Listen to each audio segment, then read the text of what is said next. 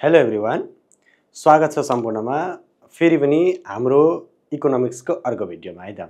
हामी BBS second year अन्तर्गत macro इकोनोमिक्ससँग सम्बन्धित भएर अध्ययन गरिराखेका छौँ है। म्याक्रो इकोनोमिक्समा हामीले फर्स्ट भिडियोमा फर्स्ट पार्टमा त्यसको युजेसका कुरा अनि स्कोपका कुरा अनि म्याक्रो इकोनोमिक्सको कन्सेप्टसहित इकोनोमिक्सकै पनि कन्सेप्टका कुराहरू हामीले अध्ययन गरेका थियौँ। अब आजको भिडियोमा हामी यसको माइक्रो इकोनोमिक्सको लिमिटेसनसँग सम्बन्धित भएर त्यसभन्दा बाँकीका कुराहरू जुन हामीलाई सिलेबसमा निर्धारण गरिएका छन् ती कुराहरू हामी अध्ययन गर्नेछौँ है त ठिक छ? ल यसो हो भने अब थप कुरा नगरिकन म च्याप्टरमै केन्द्रित भएँ है स्लाइडमै केन्द्रित भएँ।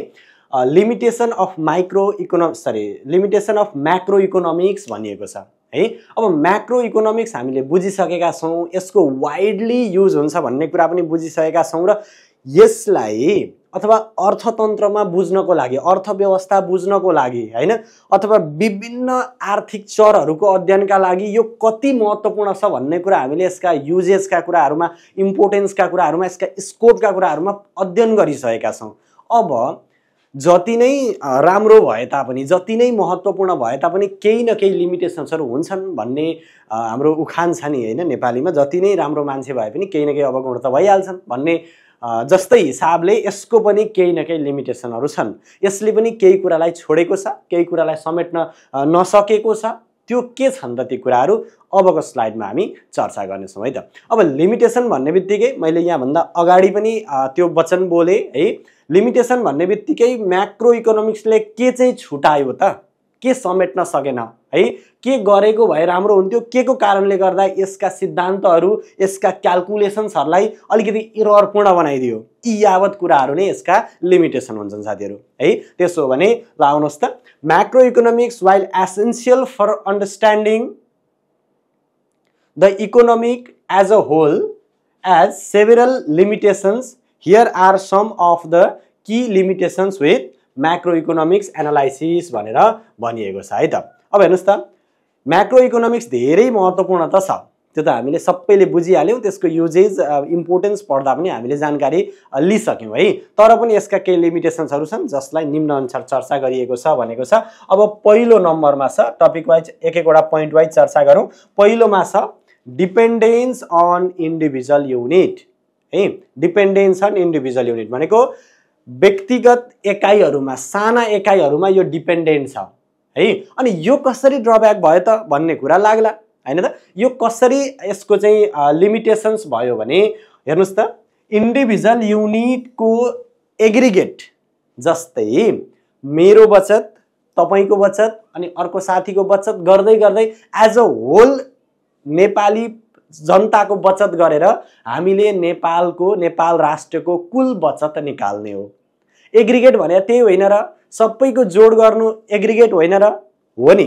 त्यसो हो भने यो त व्यक्तिगत एकाइमा त निर्भर हुने भयो।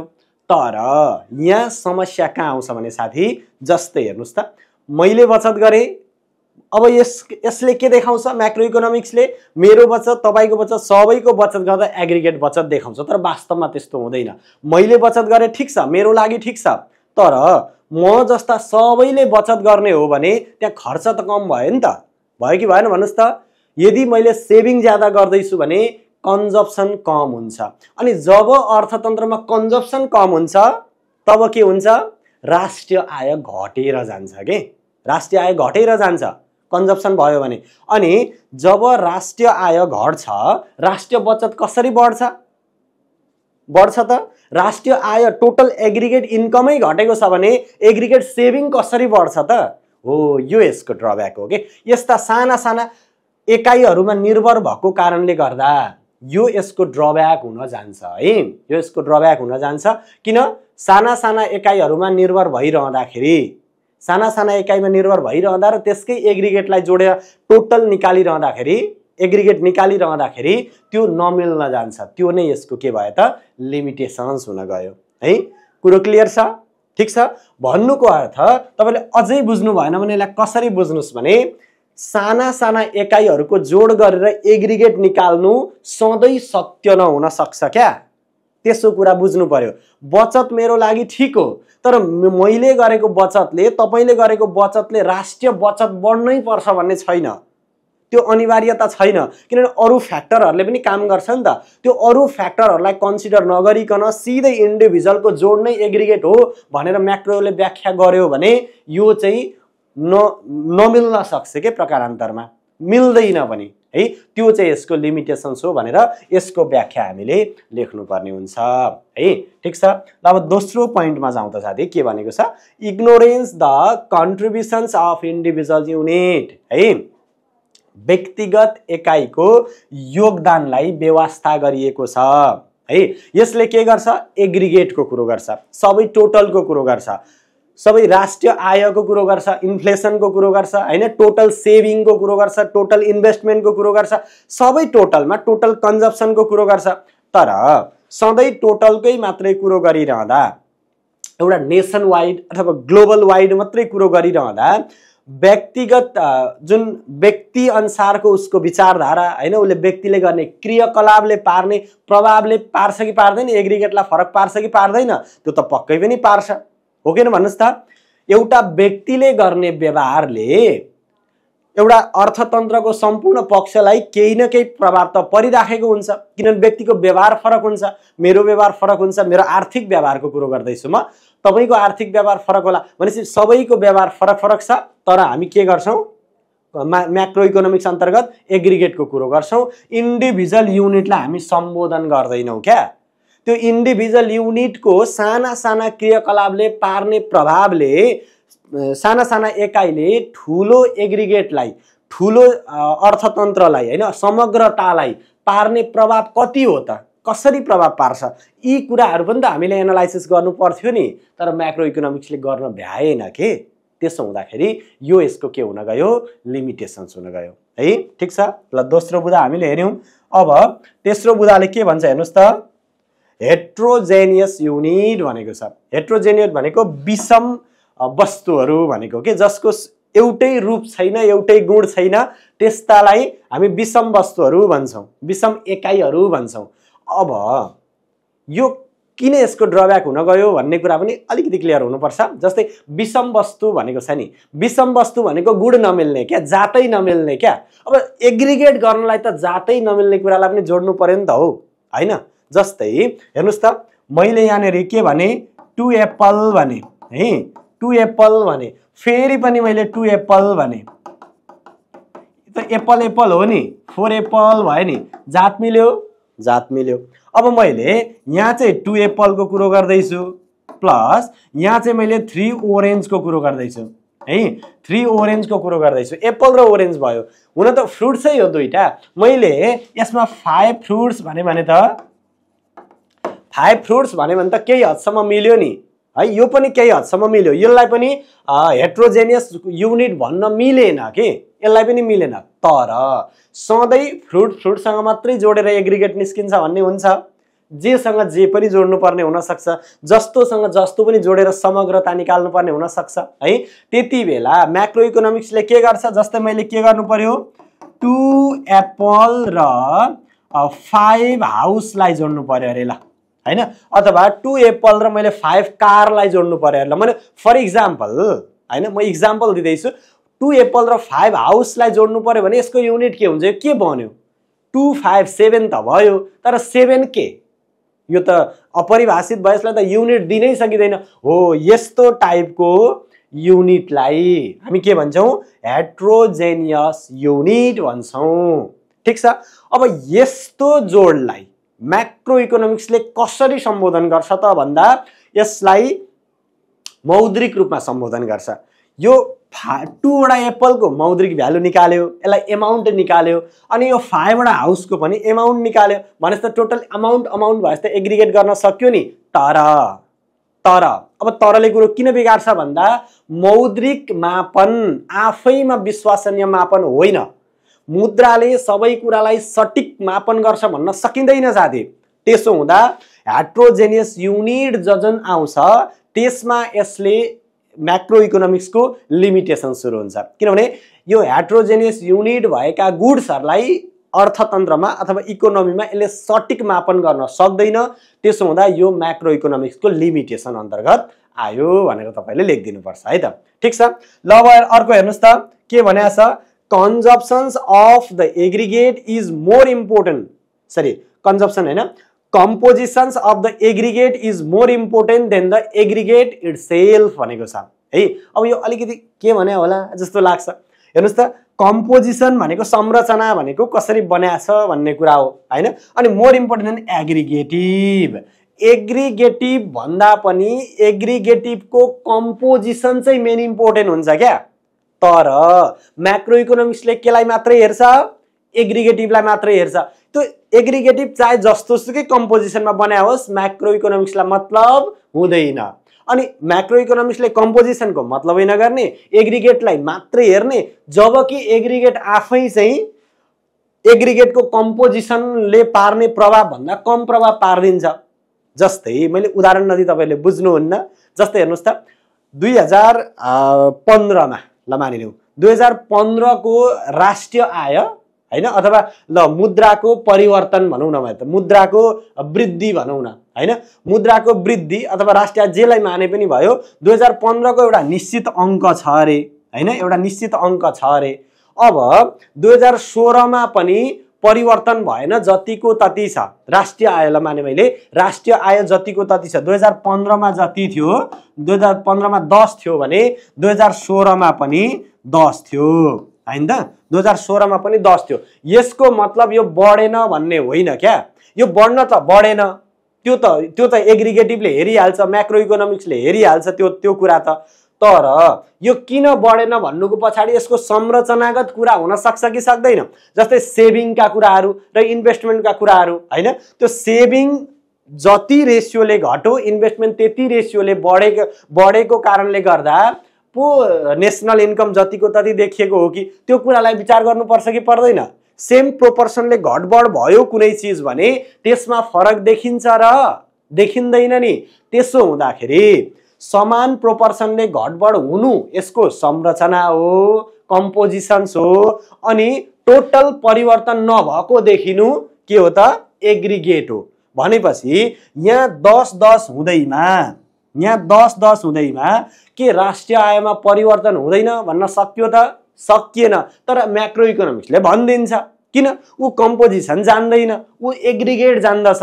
हो त्यसैले गर्दाखेरि यो कम्पोजिसन्स अफ एग्री एग्रिगेटिभलाई ध्यान दिन नसक्नु। कम्पोजिसन्स अफ एग्रिगेटिभलाई ध्यान दिन नसक्नु र एग्रिगेटिभलाई मात्रै ध्यान दिनु। यसको कम्पोजिसन्सलाई भन्दा पनि एन्सर टोटल रिजल्टलाई मात्रै ध्यान दिनु चाहिँ यसको के हो? म्याक्रो इकोनोमिक्सको ड्रब्याक हो भनेर लेखिदिनु भयो भने बब्बाल भइहाल्छ है त? त्यसो हो भने ल अब अर्को पोइन्टमा हेर्नु के भनेको छ? डिफ्रेन्ट इफेक्ट अफ एग्रिगेट्स है? अब विचार गर्नु साथी एग्रिगेट्सको इफेक्ट फरक फरक पर्छ होइन? जस्तै मूल्य बढ्यो प्राइस लेभल हाई भयो इन्क्रिज भयो ठिक छ? अब मैले तपाईँलाई सोधेँ यो राम्रो हो कि नराम्रो हो साथी? होइन? मूल्य बढ्यो अब राम्रो हो कि नराम्रो हो भन्दाखेरि यो एग्रिगेटैबाट एउटै मात्रै उत्तर दिने हो भने म्याक्रो इकोनोमिक्सले जस्तो मूल्य बढ्नु नराम्रो हो भनिदिने हो भने अथवा मूल्य बढ्नु राम्रो हो मात्रै भनिदिने हो भने यो गलत हुन जान्छ अव्यावहारिक हुन जान्छ। है? किनभने हेर्नुहोस् त मूल्य बढ्यो नि तर उद्योगपतिलाई के हुन्छ? फाइदा हुन्छ। व्यापारीलाई के हुन्छ? फाइदा हुन्छ। प्रड्युसरलाई के हुन्छ? फाइदा हुन्छ उसलाई त म्या अझै बढी नाफा हुन्छ। तर एउटा ज्याला खाने मान्छेलाई होइन? उसको ज्याला त बढेन मूल्य मात्रै बढ्यो। भनेपछि उसलाई त घाटा छ। एउटा कन्ज्युमरलाई होइन? कन्ज्युमर जसले चाहिँ उपभोग्य वस्तुहरू उपभोग गरेर खरिद गरेर उपभोग गरेर सन्तुष्टि मात्रै पाउने हो। त्यसका लागि त यो घाटाको विषय भयो नि त। हो किन भन्नुहोस् त? भनेपछि एग्रिगेटको डिफ्रेन्ट इफेक्ट हुन्छ। होइन?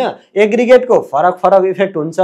त्यो फरक फरक इफेक्टलाई सम्बोधन गर्न नसक्नु। एग्रिगेटको एउटै मात्रै इफेक्ट हुन्छ भनेर व्याख्या गर्नु चाहिँ म्याक्रो इकोनोमिक्सको ड्रब्याक हो भनेर लेखिदिनु भयो भने बबाल एन्सर भइहाल्छ है त? ठिक छ? यसलाई यसरी व्याख्या गर्नु होला। अर्को कुरो के भनेको छ? लिमिटेसन सरी लिमिटेड एप्लिकेसन्स भनेको छ। लिमिटेड एप्लिकेसन भनेको यो तपाईँहरूलाई थाहा छँदैछ म्याक्रो इकोनोमिक्सका धेरै सिद्धान्तहरू सैद्धान्तिक मात्रै छन् कि? व्यवहारमा उतार्नै नसकिने सिद्धान्तमा फिट हेर्दाखेरि फिट एन्ड फाइन व्यवहारमा उतार्न खोज्यो भने के हो के हो? टाइपका सिद्धान्तहरू छन् जसको कारणले यसलाई व्यवहारमा उतार्न अलिकति कठिन भयो जस्तो हुन्छ होइन? त्यसले गर्दा यसलाई लिमिटेड बनाएको छ कि? हुनुपर्ने अनलिमिटेड हुनुपर्ने अनलिमिटेड भइदियो। लिमिटेड भनेपछि यसको लिमिटेसन्स भएन त। हो यसको युज लिमिटेड हुनु होइन? सबै सिद्धान्त व्यवहारमा उतार्न नसक्नु नै यसको लिमिटेसन्स हो भनेर लेखिदिनु भयो भने यो पनि बवाल भइहाल्छ है त? ठिक छ? हामीले यहाँनिर अब छवटा पोइन्टको चर्चा गऱ्यौँ है? अझै लिमिटेसन्सहरू हुन सक्छन् तर मेन मेन लिमिटेसन्सहरू हामीले यहाँ चर्चा गरेका छौँ। अब यसलाई यसरी नै मिलाएर लेख्नु होला। अब लिमिटेसन्स लेख्दाखेरि यो यो कारण गर्नु पर्थ्यो म्याक्रो इकोनोमिक्सले यसरी समेट्नु पर्थ्यो यसले गर्दा म्याक्रो इकोनोमिक्सको रिजल्टलाई गलत बनाउँछ म्याक्रो इकोनोमिक्सको क्यालकुलेसनलाई इरोर बनाउँछ र यसको सिद्धान्तको अप्रभावकारिता देखिने भएको कारणले गर्दा भनेर अलिकति व्याख्या शैली मिलाएर लेख्नुभयो भने यसमा बवाल भइहाल्छ है त? ठिक छ?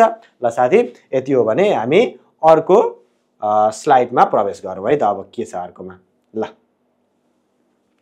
अब अर्को स्लाइडमा छ अर्को स्लाइडमा म्याक्रो इकोनोमिक्सकै भेरिएबल्सहरूको कन्सेप्ट छ। है? म्याक्रो इकोनोमिक्सकै भेरिएबलहरूको कन्सेप्ट छ। अब भेरिएबल भनेको के हो भन्दाखेरि म्याक्रो इकोनोमिक्सका मापकहरू सबै भेरिएबल हुन्। होइन? म्याक्रो इकोनोमिक्स भनेको त एउटा शास्त्र भयो होइन? एउटा विषय भयो। त्यो विषय अन्तर्गत के के अध्ययन गरिन्छन् त? होइन? के केलाई अध्ययन गर्छ म्याक्रो इकोनोमिक्सले ती सबै भेरिएबलहरू हुन्। जस्तै जिडिपी गर्ला इन इम्प्लोइमेन्ट अनइम्प्लोइमेन्टको कुरो गर्ला होइन? अनि एग्रिगेट सेभिङको कुरो गर्ला होइन? टोटल सेभिङ टोटल इन्भेस्टमेन्टको कुरो गर्ला इन्टरनेसनल ट्रेडको कुरो गर्ला होइन? यी यावत कुराहरू जे जे हुन्छन् नि राष्ट्रिय सम्पत्तिका कुराहरू गर्ला नेसनल वेल्थका कुरा गर्ला प्रोडक्सन्स एग्रिगेट प्रोडक्सन्सको कुरो गर्ला होइन? एग्रिगेट कन्जप्सन्सको कुरो गर्ला। जे गर्ला नि यी सबै कुराहरू के हुन् त? सबै कुरा भेरिएबल्सहरू हुन् कि? भेरिएबल्स भन्ने बित्तिकै त्यस्तो ठुलो विषय के सोच्नै पर्दैन। के होला भेरिएबल भनेर सोच्नै पर्दैन। माइक्रो इकोनोमिक्सले जे जे विषयमा अध्ययन गर्छ नि ती सबै भेरिएबल हुन् भनेर बुझ्नु सकिहाल्छ। त्यसको कन्सेप्ट हामी तल क्लियर गर्नेछौँ है त? ठिक छ? अब हेर्नुहोस् त macro economics variables are key indicator that represent the overall economics performance and health of country or region including metrics such as GDP unemployment rate inflation rate interest rate balance of payment and the government dept et cetera et cetera है? यी यावत कुराहरूसँग यी सबै हुन्। मैले अघि पनि गिनाएँ जस्तै जिडिपीका कुरा अनइम्प्लोइमेन्ट रेटका कुरा इन्फ्लेसनका कुरा होइन त ब्यालेन्स पेमेन्टका कुरा गभर्मेन्ट डेप्टका कुरा सबै कुराहरू के हुन् त म्याक्रो इकोनोमिक्सका भेरिएबलहरू अन्तर्गत आउने भयो कि सबै भेरिएबल हुन् भन्न सकियो ठिक छ अब it cover the whole economy at a time यसले सबै एउटा अर्थतन्त्रलाई समेटेको हुन्छ कि सबैलाई समेटेको हुन्छ भेरिएबल्सहरूले होइन सबैलाई समेट्नु पर्यो। किनभने म्याक्रो इकोनोमिक सबैलाई अध्ययन गर्छ भने त भेरिएबलहरूले पनि अभियसली हाम्रो इकोनोमिकलाई अथवा अर्थतन्त्रलाई कभर त गरे हुन्छ। त्यही कुरा गर्दैछ।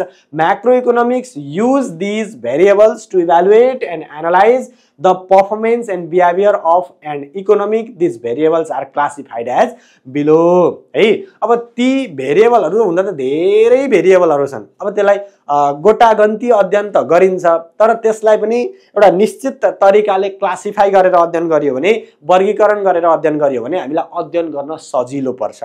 एउटै जातका मान्छेलाई एकै ठाउँ राखेर अध्ययन गरियो भने बहुजातीय ठाउँमा गएर अध्ययन गर्नुभन्दा त हामीलाई सजिलो हुन्छ। हो किन भन्नुहोस् त। भने जस्तै भने जस्तै हामीले पनि एउटै जातका कुराहरूलाई एउटै प्याटर्नका कुराहरूलाई यहाँ राखिएको छ। के छन् ती कुराहरू? तल चर्चा गरौँ है त। अब म्याक्रो इकोनोमिक्सका भेरिएबललाई समग्रतामा दुई भागमा विभाजन गरिन्छ। धेर विभाजन छैन। दुई भागमा एउटा स्टक भेरिएबल भन्छ अर्को फ्लो भेरिएबल भन्छ। अब शब्दै काफी छ नि। स्टक भनेको जुन चाहिँ स्टक स्टक हुनु भनेको मौजात रहनु। ठ्याक्कै एउटा सर्टेन टाइम पिरियडमा यति छ भनेर भनियो भने त्यो स्टक भयो। फ्लो भनेको त प्रवाह हो नि बगिरहने आज यहाँ छ भोलि यहाँ छ पर्सि यहाँ छ। उत्पादन जस्तै उत्पादनका कुरा उत्पादन त भइरहन्छ नि त होइन? तर मेसिन मैले आज किनेँ भने सक्यो। अब मेसिनमा किनिरहन्छु त दिने विषय किन्दिनँ नि त। हो यो कारणले गर्दा स्टक भेरिएबल र फ्लो भेरिएबल भनेको स्टक भनेको एकपल्ट हुने फ्लो भनेको बारम्बार भइरहने गरी दुई भागमा हामीले विभाजन गरेका छौँ है त? ठिक छ? ल अलिकति अध्ययन गरौँ त्यस पछाडि फेरि यसको बारेमा म अझै प्रश्न पार्नेछु है त? Stock variable are measure at a specific point in time अब स्टक भन्ने बित्तिकै नि मैले भनिहालेँ स्टक भनेको ठ्याक्कै उभिनु कि रोकियो अब। स्टक भनेको स्टप भनेर बुझ्दा पनि भयो ल होइन? फ्लो छैन यसमा प्रवाह छैन गति छैन भनेको एउटा सर्टेन टाइम पिरियडमा कति छ त अब स्थिर छ नि त।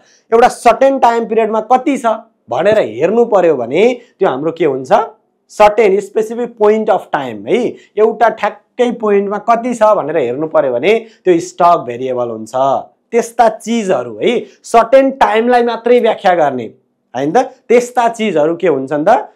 स्पेसिफिक पोइन्ट अफ टाइम अथवा स्टक भेरिएबल हुन्छन् भन्ने कुरा हो. They represent a quantity that exist at the moment and does not change until here is an inflow or outflow जबसम्म यसमा थप इनफ्लो गरिँदैन अथवा आउटफ्लो गरिँदैन होइन? खरिद बिक्री गरिँदैन अथवा भित्राइँदैन र बाहिरिँदैन यो जतिको तति हुन्छ होइन? भन्नुको अर्थ जसरी एउटा मेरो मेसिन होइन मेसिन मैले थप अर्को मेसिन किनेँ भने मेसिनको इन्फ्लो हुने भयो होइन बढ्ने भयो। त्यो मेसिनको मैले एउटा पार्टै बेच्दै भने पनि मेसिनको आउटफ्लो हुने भयो तब मात्रै चेन्ज हुन्छ। तर मैले त्यसलाई केही नै गरिनँ आउटफ्लो इन्फ्लोको मैले एक्टिभिटी नै गरिनँ भने त्यो परिवर्तन हुन्छ त हुँदैन भने त्यसलाई स्टक भेरिएबल भनिन्छ। It is starting in nature because it provide the snapshot of the situation at the given time है यसले चाहिँ यो स्टार्टिङ हुन्छ यो चलायमान हुँदैन यसले सर्टेन टाइमको ठ्याक्कै डाटा देखाउँछ। बस त्यति नै हो। है भनेपछि स्ट स्टक भेरिएबल भनेको के भनेर लेखिदिने त अब हामीले? कुरो त अलिअलि बुझ्यो बुझे बुझे जस्तो पनि लाग्यो। तर ठ्याक्कै परिभाषा के दिने भनेर कन्फ्युजन भयो भएको हो भने यसलाई के लेखिदिनु भने? अर्थतन्त्रमा समष्टि अर्थशास्त्रले अर्थतन्त्रको व्याख्या गरिरहँदा होइन यसका धेरै चरहरू प्रयोग गर्छ। जुन चरहरूले एउटा निश्चित समय पिरियडको एउटा पोइन्ट अफ टाइमको ठ्याक्कै एउटा टाइम पोइन्टको व्याख्या गर्छ अथवा त्यसको बारेमा रिप्रेजेन्ट गर्छ भने ती चरहरू होइन? ती चरहरू हाम्रा के हुन् त? स्टक भेरिएबल अथवा योलाई स्टक भनेको स्टाटिक भन्दा पनि भयो तटस्थ टाइपको तटस्थ चरहरू भनेर हामी भन्छौँ है? त्यसरी व्याख्या गरिदिनु भयो भने भइहाल्छ ठिक छ? ल फर इक्जाम्पल भनेर मैले राखिदिएको छु। फर इक्जाम्पल हेर्नुहोस् त जस्तै वेल्थका कुरा सम्पत्तिका कुराहरू। सम्पत्ति के त? मैले थपेँ भने थप्छु नियमित थप्दिनँ होइन? बेच्न पनि सक्छु त्यही इन्फ्लो आउटफ्लो भयो भने फेरि फ्लोतिर गइहाल्यो। तर मैले थप घट गरिनँ भने त त्यो त आज जति छ भोलि त्यति नै हुने भयो नि त। होइन यो टाइम पिरियडसम्ममा यति सम्पत्ति छ भनेर त देखाउन सक्यो नि। एउटा पोइन्ट अफ टाइमलाई क्याच गरेर त्यति डाटा प्रेजेन्ट गर्न सक्यो नि देखाउन सक्यो नि। ठिक छ? त्यसो हो भने यो वेल्थ भन्ने पनि हाम्रो के हो त? यो वेल्थ भन्ने भेरिएबल स्टक भेरिएबल अन्तर्गत आयो। अर्को के छ? क्यापिटल स्टक हेर्नुहोस् त। The total amount of physical capital like machinery buildings available in a certain time अब क्यापिटल स्टक पनि उयो। आजको मितिमा यति क्यापिटल छ भनेर भन्न सकिन्छ नि होइन? तर प्रोडक्सन भन्नु पऱ्यो भने अहिले म त्यसको बारेमा चर्चा गर्छु। आजको मितिसम्ममा यति क्यापिटल छ भनेर भन्न सकिन्छ। ठ्याक्कै आजको मितिको एक्ज्याक्ट भन्न सकिन्छ भने त्यस्ता चरहरू हाम्रो के हो त? भेरिएबल सरी स्टक भेरिएबलहरू हुन्। त्यस्ता चरहरू हाम्रो के हुन्? स्टक भेरिएबल हुन्। स्टक भनेको पोइन्ट अफ टाइम भन्ने सम्झिनु। इन्भेन्ट्री छ। इन्भेन्ट्रीको कुरो पनि एउटा यही हो। मौजदात छ। अब मौजात हामीले इन्फ्लो आउटफ्लो गर्ने काम नगरिन्जेलसम्म जतिको तति नै हुन्छ। स्टक बसिरहन्छ त्यही भएर स्टक भेरिएबल हो भनेर भन्न सकिन्छ। भन्नुको अर्थ परिवर्तन हुँदैन कि? एउटा सर्टेन पिरियडमा भनेको दुई हजार अस्सी साल पाँच महिना दस गते यति स्टक थियो भनेर भन्न सकिन्छ के? दस गते यति स्टक छ भनेर भन्न सकिन्छ। हो स्टक परिवर्तन भइरहँदैन। होइन? त्यही भएर यसलाई के भनियो? स्टक भेरिएबल भनियो। अर्को भनेको डेप्टका कुरा ऋणका कुरा।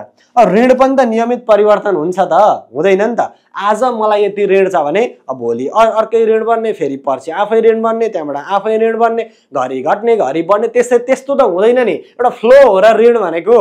झ्याप्पै मैले ल्याएँ अब कति वर्षमा तिर्छु। भनेपछि त वान टाइम एक्सन भयो नि त। एउटा पोइन्ट अफ टाइमको एक्सन भयो नि त। हो यही कुरा त भने हो पोइन्ट अफ टाइमको एक्सनलाई यदि सम्बोधन गर्छ कुनै चरले भने पोइन्ट अफ टाइमको एक्सनलाई पकडछ त्यसलाई व्याख्या गर्छ त्यसलाई विश्लेषण गर्छ भने म्याक्रो इकोनोमिक्सको त्यस्ता भेरिएबलहरूलाई हामीले के भन्ने हो? स्टक भेरिएबल भन्ने। त्यति मात्रै हो साथी। है? अब फ्लो भेरिएबल पढौँ त्यस पछाडि झनै हामीलाई स्टक भेरिएबल के हो भन्ने कुरा क्लियर भइ नै हाल्छ है त? किनभने तुलना हुन्छ नि त कम्पेयर हुन्छ नि त। ए स्टक भनेको त यस्तो थियो फ्लो यस्तो रहेछ। ए फ्लो भनेको त यस्तो थियो स्टक यस्तो रहेछ। एउटा माइन्ड मेकअप हुन्छ नि है? त्यसो हो भने फ्लो भेरिएबलको बारेमा पनि अध्ययन गरिहाल्नु है त? Flow variables are measure over the period of time they represent a quantity that is change and can be added to or subtract from it has the dimension like hour days week month year होइन? It is dynamic in nature because they illustrate how quantity change over time है अब योबाट के बुझियो भन्नुहोस् त? यो point of time थियो नि। यो भनेको पोइन्ट अफ टाइम हो यो यति मितिमा यति छ भन्न सकियो। तर अब यो चाहिँ पिरियड अफ टाइम क्या? यो मितिदेखि यो मितिसम्ममा यति भयो भन्नु पऱ्यो भने यहाँबाट यहाँ त फ्लो भएर जानु पऱ्यो नि त। यो पोइन्ट एबाट पोइन्ट बीसम्म कसरी जान्छ भन्नुहोस् त? फ्लो भएर जानु पऱ्यो कि परेन? हो यसलाई हामीले फ्लो भेरिएबल भन्ने हो। होइन? यसलाई हामीले फ्लो भेरि एउटा पोइन्टबाट अर्को पोइन्टसम्मको निश्चित अवधिको त्यो डेमा हुनसक्छ त्यो आवरमा हुनसक्छ त्यो विकमा हुनसक्छ त्यो सेमि एनुअल्ली हुनसक्छ त्यो इयरमा हुनसक्छ जेसुकैमा होस्। तर एउटा निश्चित ड्युरेसनको जस्तै असारभरिको भने अरे मैले असार एक गतेदेखि असार तिस गतेसम्म आएन र आयो नि? यो असार एकदेखि असार तिस पोइन्ट अफ टाइम हो त यो त पिरियड अफ टाइम हो नि। हो यसरी अब क्लियर भयो कि नाइ? अब क्लियर भयो कि नाइ भन्नुहोस् त। पोइन्ट अफ टाइम भनेको ठ्याक्कै असार एक गते भने असार एक गते नै हो। होइन? एक गतेदेखि भन्ने कुरै हुँदैन। तर पिरियड अफ टाइम मैले भने असार एक गतेदेखि असार तिस गतेसम्म एउटा मन्थको पिरियड भयो नि। हो यसरी मन्थभरिको क्रियाकलापहरूलाई अथवा विकभरिको क्रियाकलापहरूलाई इयरभरिको विक चाहिँ क्रियाकलापहरूलाई अध्ययन गर्ने विश्लेषण गर्ने अथवा प्रेजेन्टेसन गर्ने त्यसलाई एनालाइज गर्ने म्याक्रो इकोनोमिक्सका भेरिएबलहरूलाई के भनिन्छ? फ्लो भेरिएबल भनिन्छ भनेर हामीले लेखिदियौँ भने बवाल भइहाल्छ। लेख्नु पर्ने नै त्यही हो साथी। है ठिक छ? ल अब फर इक्जाम्पल भनेर अलिकति इक्जाम्पल हेर्नुहोस् त। यहाँ अलिकति भन्छु म यो डाइनामिक इन नेचर भनेको छ। डाइनामिक भनेको गतिशील क्या हिँडिरहने हिँडिरहने अघि बढिरहने अथवा पछि सरिरहने। है फ्लो भइरहने के? अल्टरनेटिभ करेन्ट जस्तो नि। तलमाथि तलमाथि फ्लेक्जिबिलिटी आइरहन्छ नि त। हो त्यही हो। डाइनामिक भनेको चलायमान भइरहनु। चलायमान भइरहन्छ because they इलिटेड how quantity change over time किन? यसले हेर्ने भनेकै एउटा टाइम पिरियडभित्र कति क्वान्टिटी चेन्ज भयो भनेर हेर्ने हो नि त। त्यसो हुँदाखेरि यो डाइनामिक नेचरको हुन्छ। अब फर इक्जाम्पल हेर्नुहोस् त जस्तै इन्कमका कुरा। अब इन्कमको कुरो एउटा संस्थाको अथवा राष्ट्रियको इन्कमलाई हेर्नुहोस् त आज यति इन्कम भयो भने एकैचोटि आगो मात्रै यति इन्कम भयो भन्ने हुन्छ। इन्कम त बढिरहने प्रक्रिया हो नि। असारभरिमा असार एक गते इन्कम दुई गते इन्कम तिन गते इन्कम चार गते इन्कम इन्कम त बढिरहन्छ। यो नियमित फ्लो हो इन्कम भनेको एउटा मेसिन किने जस्तो ठ्याक्कै मैले आज किने मेसिन अब किन्दिनँ भन्ने हुँदैन क्या। आज मेरो यति इन्कम भयो अब हुँदैन भन्ने हुँदैन क्या इन्कममा होइन? इन्कम फ्लो आज पनि हुन्छ भोलि पनि हुन्छ पर्सि पनि हुन्छ। हो यसरी फ्लो फ्लो यसरी फ्लोमा चाहिँ मेजर गर्नु भनेको के हो त? फ्लो भेरिएबल्स हो है? ठिक छ? अब हेर्नु त एक्सपेन्डिचर अब खर्चको कुरा पनि उयो हो। आज मैले खर्च गरेँ मस्त खर्च गरेँ। अब मैले एक वर्ष खर्च गर्नु पर्दैन भन्दा हुन्छ र। अथवा मैले एक महिना खर्च गर्नु पर्दैन भन्दा हुन्छ र। खर्च भनेको पोइन्ट अफ टाइम हो र। यो त पिरियड अफ टाइम होइन। एक गते अलिकति कता खर्च भयो? दुई गते फेरि कता जानु पर्यो? त्यता खर्च भयो होइन? तिन गते के किन्नु पर्यो? त्यता खर्च भयो भने जस्तै एक्सपेन्डिचर पनि फ्लो भेरिएबल अन्तर्गत आउँछ किनभने खर्च नियमित हुन्छ। एकपल्ट गरेपछि ढुक्क भन्ने हुँदैन के? ल अब हेर्नुहोस् त प्रोडक्सनका कुरा। प्रोडक्सन पनि उही त हो। आज नि उत्पादन भोलि नि उत्पादन पर्सि नि उत्पादन उत्पादन त भइरहने प्रक्रिया हो। यसरी भइरहन्छ भने त्यो नै फ्लो हो क्या? भइरहनु नै फ्लो हो। भनेपछि फ्लो भेरिएबल अन्तर्गत आयो। अब भनेको अर्को कन्जप्सनका कुरा। कन्जप्सन भनेको पनि कुरो त उही हो। उपभोगका कुरा। उपभोग पनि त डेली हो नि त। डेली बेसिसमा अथवा फ्लोमा हुने चिज हो नि त। आज मैले उपभोग गरेँ सक्यो भन्ने त हुँदैन। होइन? म चामलको उपभोग आज पनि गर्छु भोलि पनि गर्छु पर्सि हर गुडमा यही लागु हुन्छ। ठिक छ? त्यसो भने हामीले फ्लो भेरिएबल्स र स्टक भेरिएबलको कन्सेप्टलाई पनि बुझिहाल्यौँ। अब यसलाई फर्दर तपाईँहरूले अलिकति बुकमा अध्ययन गर्नुभयो भने बुकबाट तपाईँले शब्द लिनुहोला। कन्सेप्ट मैले दिएको छु। यही कन्सेप्टलाई पक्रेर अलिकति शब्द मिलाउनु भयो भने तपाईँले इक्जामिनेसनमा बबाल डेफिनेसन लेखेर अथवा बबाल प्रेजेन्टेसन दिएर आउन सक्नुहुन्छ साथै। है त? ल यति हो भने अब हामी अर्को स्लाइडमा जाउँ। अर्को स्लाइडले हामीलाई के भन्दैछ त है? ठिक छ? ल अब अर्को स्लाइडमा आएको छ इक्विलिब्रियम एन्ड डिसइक्विलिब्रियमका कुरा छन् है? अब इक्विलिब्रियम भनेको के हो अनि डिसइक्विलिब्रियम भनेको के हो भन्ने कुरामा नि अलिकति हामीले चर्चा गर्नुपर्छ है? ल अब इक्विलिब्रियम र डिसइक्विलिब्रियमको कुरो छ। इक्विलिब्रियम भनेको नेपालीमा भन्ने हो भने सन्तुलनका कुरा डिसइक्विलिब्रियम भनेको असन्तुलनका कुरा होइन? अब यो सन्तुलन र असन्तुलन आफ्नो आफ्नो तरिकाले परिभाषा गरिएला। तर इकोनोमिक्समा यसको सन्तुलनको बिन्दु के हो भने तपाईँले फर्स्टमा पनि पढ्नु भएको एघार बाह्रमा पढ्नु भएको छ। यदि कुनै दुईवटा अपोजिट फोर्सहरू होइन अपोजिट फोर्सहरू एक आपसमा एक भएर जान्छन् भने होइन एक आपसमा काटिएर जान्छन् भने जहाँ काटिएको छ त्यो नै सन्तुलनको बिन्दु हुन्छ। जहाँ काटिएको छ त्यो नै इक्विलिब्रियम पोइन्ट हुन्छ। भन्नुको अर्थ जस्तै मैले भने डिमान्ड र सप्लाईका कुरा। अब डिमान्ड हाम्रो यसरी जान्छ होइन? डाउनवार्ड स्लोपिङ भएर अनि सप्लाई त फेरि यसरी जान्छ अपवार्ड स्लोपिङ भएर। यिनीहरू अपोजिट फोर्स लगाउने चाहिँ भेरिएबलहरू हुन् होइन? अपोजिट फोर्स लगाउँछ नि एउटा उँभो जान खोज्छ एउटा उँधो जान खोज्छ। तर उँभो र उँधो गए तापनि यिनीहरू अपोजिट डाइरेक्सनमा कुदे तापनि काहीँ न काहीँ यस्तो बिन्दु त छ चाहे यिनीहरू एक छन्। हो त्यो बिन्दु खोज्नु नै हाम्रो के हो त? इक्युलिब्रियम हो। यो बिन्दु खोज्नु नै हाम्रो के हो त?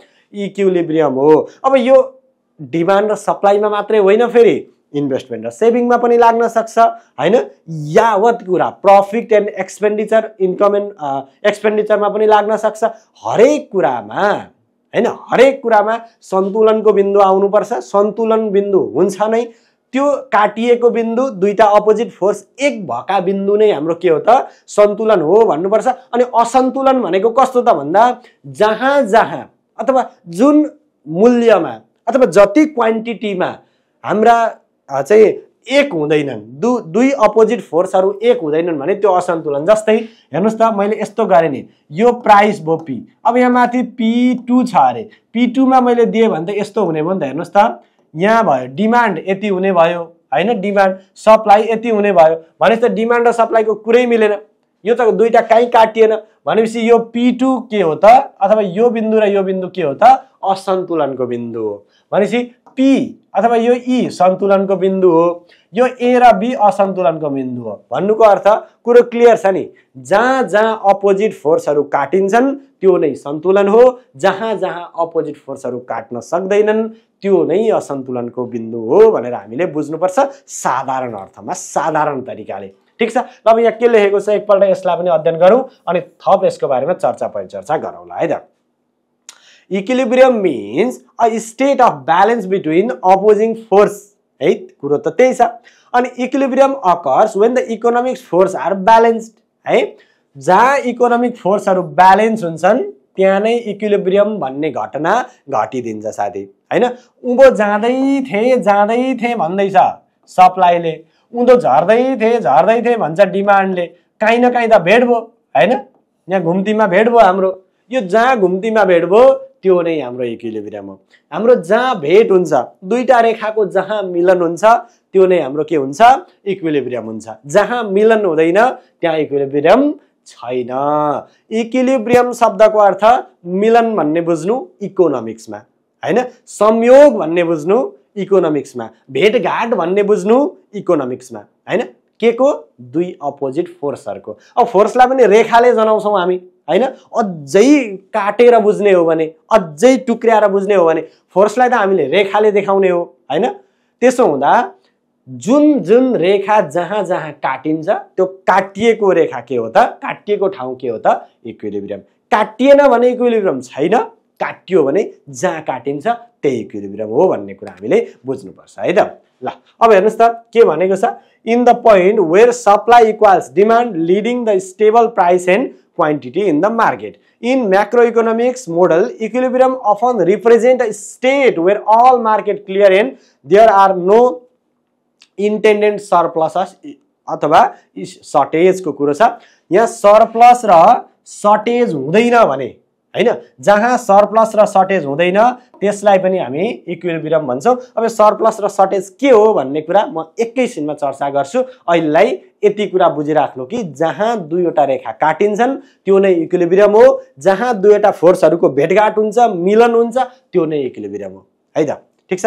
ल फर इक्जाम्पल एकपल्ट हेरिदिनुहोस् त। In the goods market equilibrium is achieved when the total productions and the total consumptions are equal भनेको छ कि होइन? अब यदि गुड्स मार्केटको हेर्ने हो भने गुड्स मार्केटको इक्विलिब्रियम हेर्ने हो भने जहाँ कन्जप्सन्स र जहाँ प्रोडक्सन्स बराबरी छ त्यो नै इक्विलिब्रियम हो।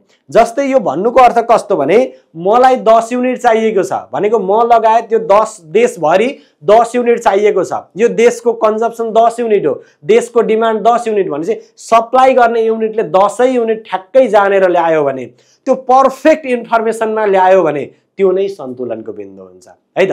ठिक छ? ल अब in the labour market equilibrium अब लेबर मार्केटको कुरो गर्ने हो भने के हुन्छ भन्दा number of job equals to available match the number of job seeker जतिजनाले जब खोज्दैछन् ठ्याक्कै त्यतिवटै जब आयो। कोही खाली पनि बस्नु परेन भ्याकेन्सी पनि त्यसै गएन। भने त्यो इक्विलिब्रियमको अवस्था हो। इक्विलिब्रियम भनेको दुवै पक्षलाई घाटा नहुनु क्या। दुवै पक्ष फाइदामा विन विन कन्डिसन भन्छ नि। हो विन विन कन्डिसनमा बस्नु पनि इक्विलिब्रियम लेभल हो। है ल अब अलिकति डिसइक्विलिब्रियमको बारेमा पनि हेरौँ। त्यस पछाडि अझै हामीलाई क्लियर हुनेवाला छ है त। Disequilibrium refers to the state of economics in which opposing force such as aggregate supply and aggregate saving aggregate demand aggregate saving and investment et cetera are not in balance जहाँ balance खुस्क्यो नि त्यहीँ डिसिक्विलिब्रियम सुरु भयो के साथी? हो? जहाँ ब्यालेन्स छैन जहाँ रेखाहरू काटिएका छैनन् ती नै हाम्रो के भए? डिसइक्विलिब्रियमका कुराहरू भए। अब supply and demand leads to either success होइन? Either success supply surplus or supply and demand leads to either excess supply excess supply and demand leads to either excess supply or excess demand भनेको shortage the यसको सब surplus र सर्टेजको कुरो म एकछिनमा गर्नेछु। है यहाँ डेफिनेसनमा आए पनि धैर्य गर्नु होला the working of the market economy involves a large number of interrelated and interacting economics variable and its real possibility for all market factor to balance and maintain a stable equilibrium. है अब हेर्नुहोस् त इक्विलिब्रियमको लागि equilibrium हुनको लागि ठ्याक्कै दुईवटा force बराबर त हुनुपर्छ तर दुईवटा फोर्सका अलावा जस्तै हेर्नुहोस् त यो डिमान्ड भयो यो सप्लाई भयो यहाँ बराबर हुनुपर्छ भन्ने कुरा हामीले थाहा पाइयो। तर यो बराबर भइराख्नका लागि डिमान्डलाई प्रभाव पार्ने तत्त्वहरू छुट्टै हुन्छन् अनि सप्लाईलाई प्रभाव पार्ने तत्त्वहरू छुट्टै हुन्छन्। अनि आफ्नो आफ्नो तरिकाले प्रभाव पारिराखेको अवस्थामा दुईवटा फोर्स इक्वाल चाहिँ कसरी हुनसक्छ त्यो त प्रभावै प्रभावको चेन छ। प्रभावै प्रभावको श्रृङ्खला छ। हो यो प्रभावै प्रभावको श्रृङ्खलामा चाहिँ के को अवस्था सिर्जना हुन्छ? डिसइक्विलिब्रियमको अवस्था सिर्जना हुन्छ। तपाईँले यसरी बुझ्नु पऱ्यो कि? जस्तै हेर्नुहोस् त यहाँनिर के भनेको छ? Large number of enter related होइन एन्ड इन्टरेक्टिङ इकोनोमिक्स भेरिएबल अब यसँग सम्बन्धित अथवा असम्बन्धित अथवा यसले प्रक्रि प्रतिक्रिया जनाउने अथवा प्रभाव पार्ने धेरै फ्याक्टरहरू हुन्छन् नि त। भनेपछि धेरै फ्याक्टरहरूको सङ्गोलमा धेरै फ्याक्टरहरूको प्रभावै प्रभावमा कसरी चाहिँ इक्विलिब्रियम होला त भन्ने कुरा चाहिँ डिसइक्विलिब्रियमको तर्क छ। त्यसैले जुन अवस्थामा धेरै प्रभाव हुन्छ प्रभाव ज्यादा हुन्छ होइन? आफ्नो आफ्नो तरिकाको प्रभाव भइदिन्छ। त्यो अवस्थामा हाम्रो के हुने रहेछ त? डिसइक्विलिब्रियमको अवस्था आउने रहेछ भन्ने कुरा तपाईँले बुझ्नुपर्ने हुन्छ है त इन्डिड वास्तवमै के हो भने त disequilibrium between economic factor and forces is a routine problem in a market economy यो दैनिकी जस्तै समस्या हो कि? कहिले इक्विलिब्रियमको कन्डिसन भेटिँदैन यो त पर्फेक्ट मार्केटको कन्डिसन मात्रै हो। तर वास्तविक मार्केटमा किनभने प्रभाव पार्ने तत्त्व धेरै हुन्छ नि त। इन्डिभिजुअल लेभलदेखि म्याक्रो लेभलसम्म प्रभाव पारिराखेकै हुन्छ। त्यसो हुँदा त्यो प्रभावै प्रभावको बिचमा इक्विलिब्रियमको कन्डिसन हुन समस्या छ। त्यही भएर routine problem in the market economy भनेर लेखिदिनु होला। है त? ठिक छ? ल अब यसलाई बुझाउनको लागि अलिकति मैले रेखाचित्रको सहारा लिनुपर्ने हुन्छ। है? यसलाई रेखाचित्रको सहारा लिनुपर्ने हुन्छ। रेखाचित्रको थ्रु म अलिकति बुझाउँछु है त? थोरै रेखाचित्र तान्छु अनि तपाईँहरूलाई बुझ्न सजिलो पनि हुन्छ है?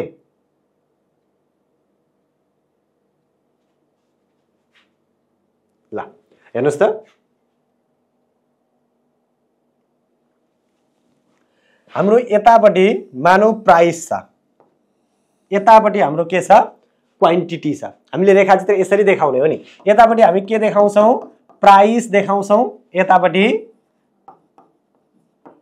क्वान्टिटी देखाउँछौँ अथवा यसलाई आउटपुट भने पनि भयो है? आउटपुट भने पनि भयो। अब यहाँनिर मैले अघि देखाए जस्तै हाम्रो यो डिमान्ड रेखा हो है? यो डिमान्ड रेखा हो। यो किन डाउनवार्ड स्लोप छ? यो बुझ्नु भएको छ? किन डाउनवार्ड स्लोप छ? प्राइससँग आउ प्राइस र आउटपुटको डिमान्डका पर्सपेक्टिभबाट हेर्ने हो भने प्राइस बढ्यो भने आउटपुट घट्ने हो अथवा क्वान्टिटी कन्जप्सन घट्ने हो अनि प्राइस घट्यो भने क्वान्टिटी कन्जप्सन बढ्ने हो भनेपछि यो प्राइस र आउटपुट बिचको प्राइस र क्वान्टिटी बिचको नेगेटिभ सम्बन्धको कारणले होइन उल्टा सम्बन्धको कारणले यो उल्टै फर्किन्छ। होइन? सम्बन्धै उल्टा भएपछि फर्किनु पनि उल्टा पर्यो भनेर बुझ्दा पनि भयो। है भनेपछि यस्तो हुन्छ डिमान्ड। यो मैले के बनाएँ? यो पनि डी रहेछ यो पनि डी रहेछ डिडी बराबरको डिमान्ड कर्भ रहेछ। अब यतापट्टि सप्लाई मैले ठाडो दिएँ। सप्लाई किन अपवार्ड स्लोपिङ हुन्छ फेरि? सप्लाईको सम्बन्ध पोजिटिभ हुन्छ। प्राइस बढ्यो भने आउटपुट सप्लाई ज्यादा हुन्छ। आउटपुट पनि बढेर जान्छ। प्राइस घट्यो भने सप्लाई घटेर जान्छ। घट्दा घट्ने बढ्दा बढ्ने पोजिटिभ सम्बन्ध भएन। हो। पोजिटिभ सम्बन्धको कारणले गर्दा सप्लाई सप्लाई हाम्रो माथि जान्छ। है ठिक छ? अब हेर्नुहोस् त यो हाम्रो इक्विलिब्रियमको थ्योरी अनुसार हेर्ने हो भने कन्सेप्ट अनुसार हेर्ने हो भने इक्विलिब्रियमको थ्योरी अनुसार के छ? यहाँनिर हाम्रो इक्विलिब्रियम छ। किन? दुईटा अपोजिट फोर्स जहाँ इन्टरसेक्ट हुन्छ त्यहीँनिर इक्विलिब्रियम हुन्छ। यो इक्विलिब्रियमको कन्डिसनको फाइदा के हो भने नि साथी इक्विलिब्रियम कन्डिसन यदि आयो भने एउटा निश्चित प्राइस हुन्छ निश्चित क्वान्टिटी हुन्छ। निश्चित प्राइसमा निश्चित क्वान्टिटी त्यति नै आउटपुट गरिरहेको हुन्छ त्यति नै सप्लाई गरिरहेको हुन्छ त्यति नै डिमान्ड गरिरहेको हुन्छ त्यही एउटा प्राइसमा एउटा मूल्य बराबरको प्राइसमा भनेपछि यो मैले सरर तान्ने यता सरर तान्ने अब यता मैले प्राइस लेखेपछि यो पी लेख्नुपर्ने हुन्छ यो क्यु लेख्नुपर्ने हुन्छ। भनेपछि if there is a equilibrium conditions है प्राइस कति छ? Price we can consume or supply the goods equals to Q. Q बराबरको हामी आउटपुट कन्जप्सन अथवा सप्लाई गरिराखेका हुन्छौँ। अब कुन प्राइसमा? पी नम्बरको प्राइसमा अथवा पी बराबरको प्राइसमा।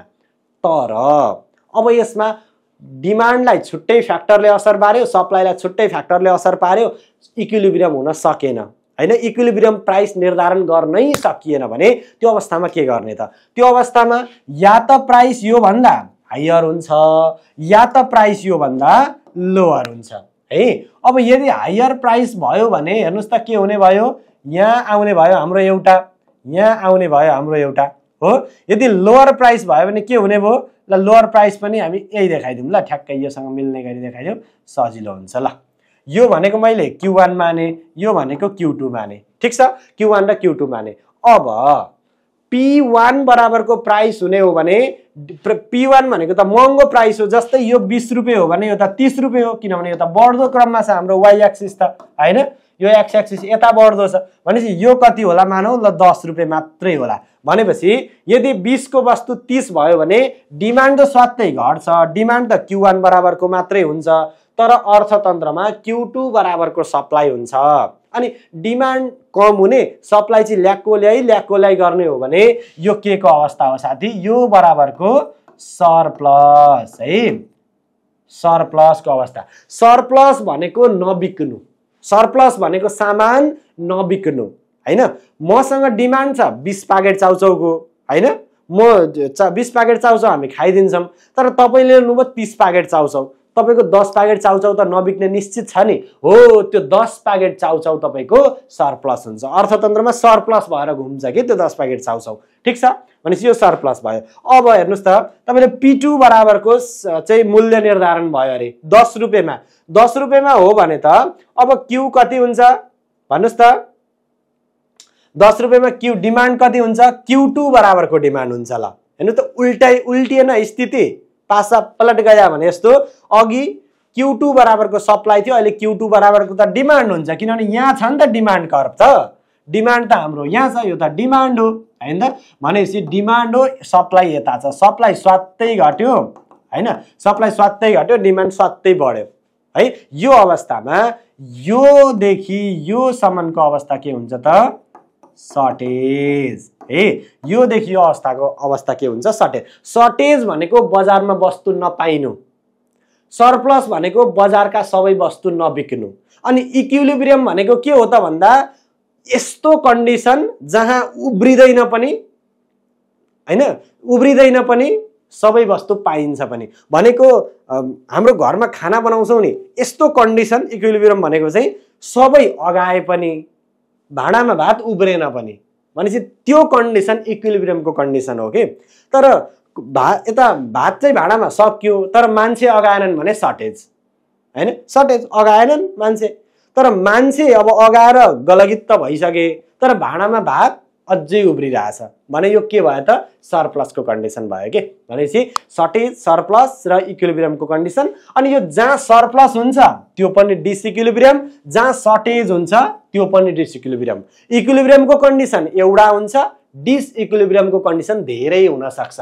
पी वानमा पनि डिसइक्विलिब्रियम पी टूमा पनि डिसइक्विलिब्रियम तर पीमा मात्रै इक्विलिब्रियम हुन्छ कि? भनेपछि इक्विलिब्रियम कन्डिसन के? एउटा। डिसिक्युलिब्रियम कन्डिसन के? धेरै। अनगिन्ती। है? ठिक छ? ल। यसको इक्विलिब्रियम र डिसिक्युलिब्रियमको कन् कन्सेप्ट पनि हामीले अध्ययन गऱ्यौँ है। ल। आजलाई यति नै है। अब बाँकी यसका सकिएका छैनन् है? अझै यसमा हाम्रो एक दुईवटा टपिक हामीले पढ्नुपर्ने हुन्छ। ती टपिक अर्को भिडियोमा लिएर आउनेछौँ। तबसम्मको लागि आज्ञा चाहन्छु। नमस्कार।